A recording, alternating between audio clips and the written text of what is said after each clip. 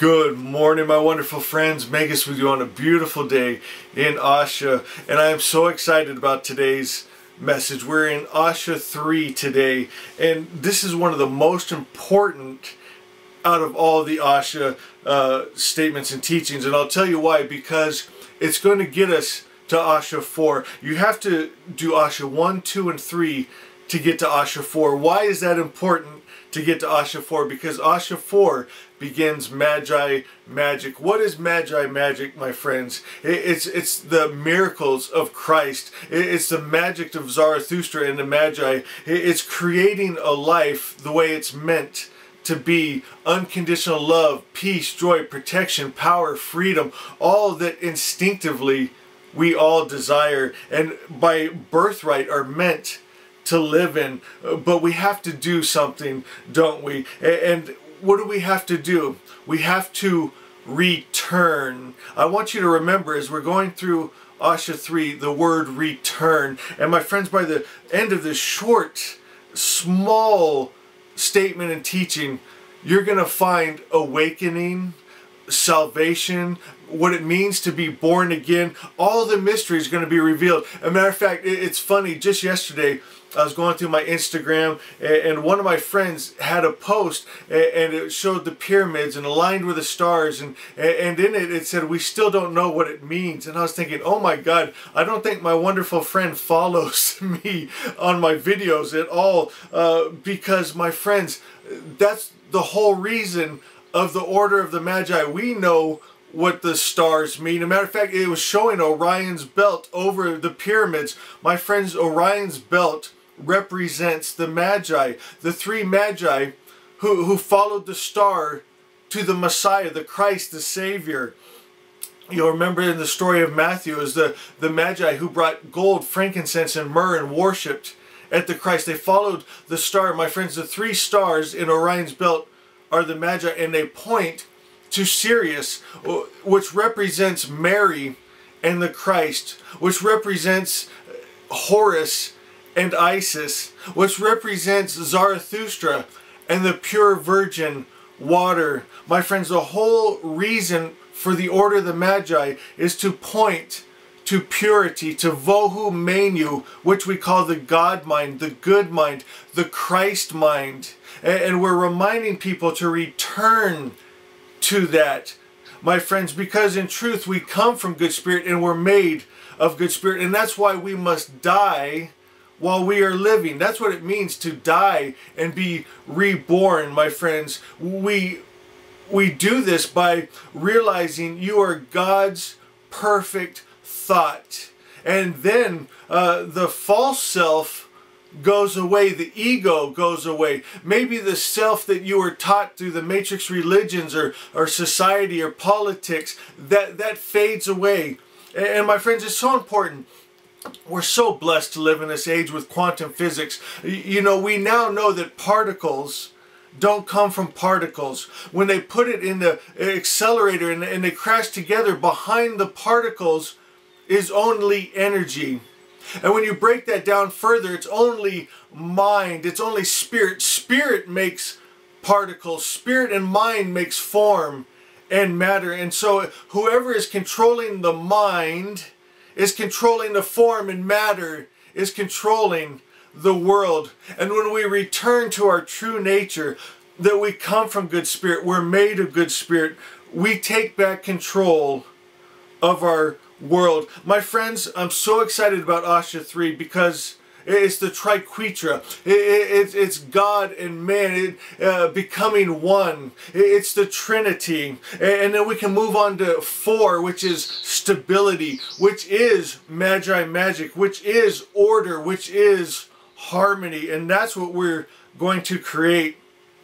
You'll find, my friends, the principles of the world the, the God that they give you, the religion that they give you, uh, the idea of politics and society that they give you always leaves you empty inside of you. But my friends, when you have vohu mainyu, the highest principle, the God mind, the good mind, the Christ mind, you are always satisfied, my friends, because you're living in your true nature that you're creating from your true self. But it's important to remember what is in your heart, what is on your mind, because that is what is coming to you. We must take every thought captive. My friends, every trouble that we see and experience in this world begins with thinking that is unsupported by the original word. We have to get back to the original word. And, that, and that's why we're going to touch on Asha 13 today, uh, because that gives us the key uh, to magic. That gives us the key to salvation, to, to what we're talking about here in Asha 3. If, if, if the original word is what we must have to be born again, to be awakened, to be saved, we got to know what the original word is. Do you know what the original word is? If, if your whole world is dependent on you knowing what is the original word, if we create with the word that we hold, what we vibrate, we create. My friends, what is that original word? What God are we going to accept into our hearts and create out? What are we returning to? And we're going to show you that right now in Asha 13, which you know is my all-time favorite verse. And at the top of it, I, I wrote restore. Asha 3, we're talking about returning. Asha 13 is restoring, restoring our, our, our, identity, restoring God's identity, restoring the perfect identity of how this world is meant to be. It says the original word is that all good comes from the Creator and no evil comes from Him. My friends, I wish you could just grab, I pray right now that you understand the power to what was just said right there. And I'll tell you why. Because it goes on to say that when the spiritual world is made straight, the material world comes into order. Remember what we are talking about with quantum physics? Every particle, every form and matter comes from just energy, from mind, from spirit. So what mind are we holding? What vibration, what spirit, what energy are you holding to make your form and matter? And my friends, this is everything right here. If you get this, you've got it all. You got the message of the Magi and you can move on to work in magic, which we're going to hit in our next video. I'm probably going to make it later today again, Asha 4. And so get excited, my friends. It's powerful. But, but what it's doing is we must restore God's image. Think of what the Matrix religions have taught us that God looks like so that we mimic that God, right? This God, he, he hates. He gets jealous. He wars. He kills. He kills men, women, and children. We're to fear that God, right? And so, my friends, as, as I've taught you, we'll never rise above our idea of God, our highest principle of good. We can't rise above.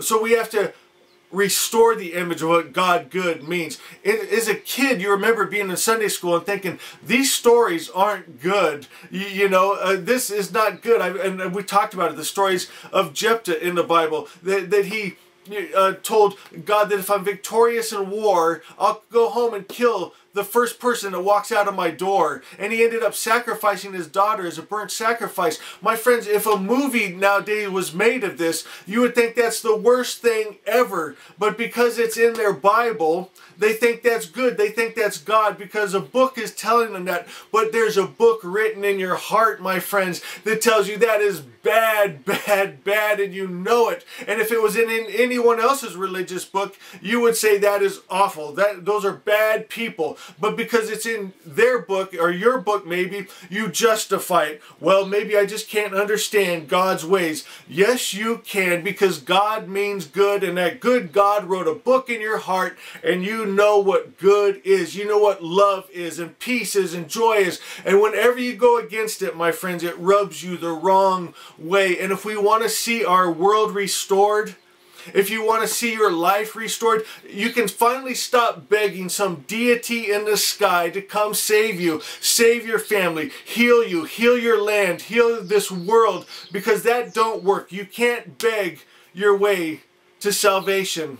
My friends, the only way to be saved, to be awakened, to be born again is to return. Uh, and first, we're going to restore God's image. He's all good. He is all love, peace, joy, and he can do none of the evil spirit attributes. He can't hate, war, kill, destroy. That's evil spirit. They're not mixed, my friends. You got to separate it. And then you're going to start to awaken. You're going to start to align yourself with that energy of the loving Father, the all good God, and you're going to vibrate that and you're going to create that in your life, in your family, in your home, and then in our world, my friends. And that's where the salvation comes. We make our spiritual world right, our energy, our vibration, and the form and matter comes into order, into harmony, into what we call Asha, my friends, heaven on earth. Today, you can accept Vohu the Christ mind, in to you. How do you do it, Magus? My friends, you restore his image. God is all good. He's been misrepresented as hating, war, and killing. All these awful, evil spirit ideas, my friends. We have to restore his image. He's all good. Then we align our energy with that. We take that pure energy inside of us, my friends. This is Mary and Jesus, Isis and Horus, Zarathustra, the pure virgin water. This is the message of the Magi, my friends. We restore His image. We align our energy with that, en that energy. We take that energy into us. We be that. We be God. We be one with God like the Christ taught. We be unconditional love no matter how anyone else is acting. We be peace no matter what's going on around us. We create the atmosphere. We create form and matter with our energy, my friends. It's quantum science. It's spirituality and it's powerful and it's going to bring us to Asha 4 magic, accept that pure God into you today and then create from that God mind, that Christ mind, and we're going to do magic, my friends, and we're going to change this world back to Asha. I'm so proud of every one of you. If you haven't already subscribed, hit the like button, and most important, share this, my friends. We're going to change this world back to Asha, and I need every single one of you. Share this with someone today, and know I love you. I love you. I love you.